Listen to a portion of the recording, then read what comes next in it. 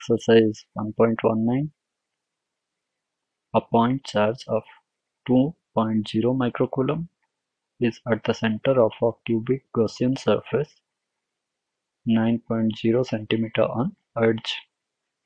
What is the net electric flux through the surface? We know that according to Gauss's law, flux of a 3D surface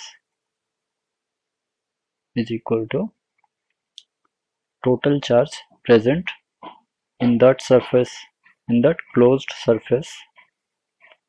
So total charge q or q enclosed divided by epsilon naught.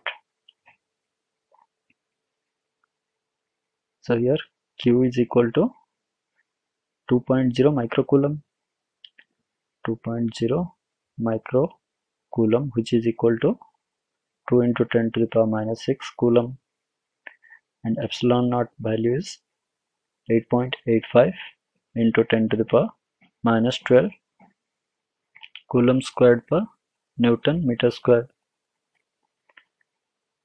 so flux is equal to q by epsilon naught which is equal to 2 into 10 to the power minus 6 divided by 8.85 into 10 to the power minus 12 which is equal to 2.26 into 10 to the power 5 Newton meter square per coulomb.